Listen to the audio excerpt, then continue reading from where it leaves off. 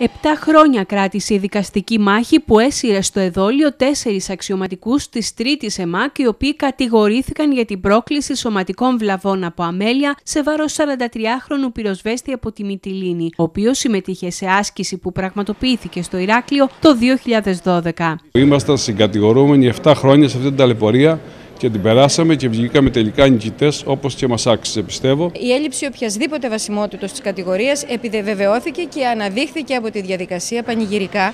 Και μάλιστα, εγώ θα επικαλεστώ μία φράση του εξωτήμου κ. Αγγελέου ότι δεν αγιάζει πάντα ο σκοπός τα μέσα. Δηλαδή, δεκτών υπάρχει μια σοβαρή σωματική βλάβη, η οποία όμως ανεδείχθη ότι αυτή εδράζεται σε μια παθολογική κατάσταση, η οποία εξελίχθηκε. Οι τέσσερις αξιωματικοί που απαλλάχθηκαν σήμερα από κάθε κατηγορία δεν έκρυψαν τη συγκίνηση και την ικανοποίησή τους για τη λήξη της δικαστικής περιπέτειας που βάρινε στους ώμους τους όλα αυτά τα χρόνια.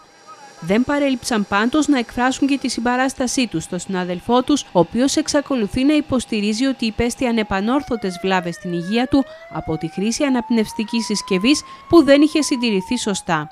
Και στον παθόντα να έχει υγεία, να είναι δυνατός και να μπορέσει να συνεχίσει τη ζωή του όπως και εμείς. Ο εντολέας μου και όλοι οι κατηγορούμενοι, η ηγεσία της ΕΜΑΚ, της τρίτης ΕΜΑΚ, αθωώθηκε και κατόπιν της προτάσεως του κ. Αγγελέας που ήταν αθωτική η πρότασή του. Πολύχρονη ε, ταλαιπωρία, πολύμηνη διαδικασία η οποία όμως είχε ένα αίσιο αποτέλεσμα, αυτό το οποίο αναμέναμε και είχαμε στοιχειοθετήσει. Ο 43χρονος αρχιπυροσβέστης συμμετείχε σε άσκηση που διοργάνωσε η Τρίτη ΕΜΑΚ σε συνεργασία με το Αρχηγείο της Πυροσβεστικής.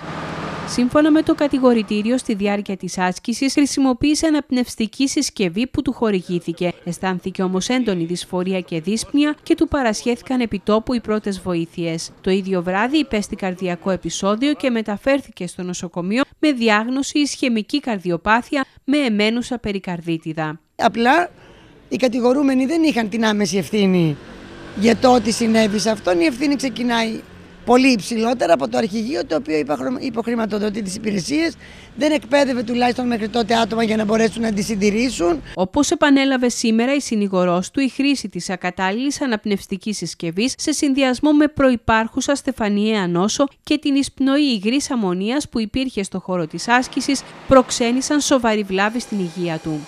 Το μονομελές πλημελιωδικείο Ηρακλείου, ωστόσο, απάλαξε από κάθε κατηγορία τους τέσσερις αξιωματικούς, κρίνοντας ότι δεν υπήρχε καμία βάση ακόμη και για την παραπομπή του σε δίκη. Ήταν μια μεγάλη δικαίωση για τους εντολείς μας, αλλά και μια δικαίωση για την τρίτη ΕΜΑΚ, η οποία πραγματικά λειτουργεί υποδειγματικά όλα αυτά τα χρόνια και ουδέποτε έχει παρατηρηθεί το παραμικρό γεγονός που να σκιάζει αυτή την εικόνα. Δεν υπήρξε παράληψη ούτε εντοπισμένη στο κατηγορητήριο, αλλά ούτε ανεδείχθη με άλλο τρόπο και ως εκ τούτου η αθώωση θεωρώ ότι για το δικαστήριο ήταν μονόδρομος.